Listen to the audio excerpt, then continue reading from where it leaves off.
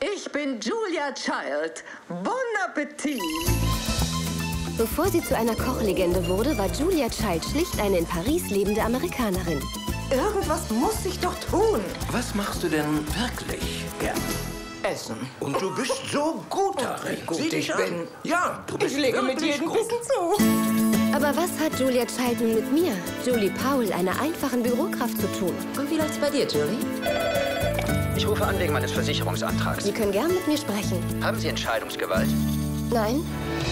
Schon gehört, was ihr passiert ist? Das Fernsehen will aus meinem Blog eine Miniserie machen. Ich kann auch einen Blog schreiben. Ich habe auch Gedanken. Schreib einen Blog übers Kochen. Ich bin keine echte Köchin wie Julia Child. Julia Child war nicht immer Julia Child. Wie wär's, wenn ich auf eine Kochschule ginge? Bonjour! Das Julie-Julia-Projekt. Ich koche mich durch Julia Childs Kochbuch. 365 Tage, 524 Rezepte. Eine wahnwitzige Aufgabe, die mich mein Wohlbefinden kosten kann. Ist das verrückt? Ja.